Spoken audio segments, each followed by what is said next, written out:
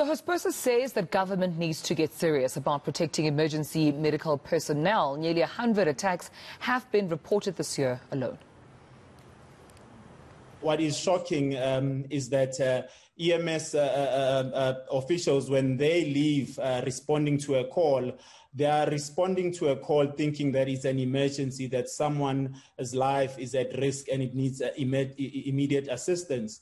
And when they arrive on the scene, they get ambushed uh, and by these perpetrators who are just after their personal belongings.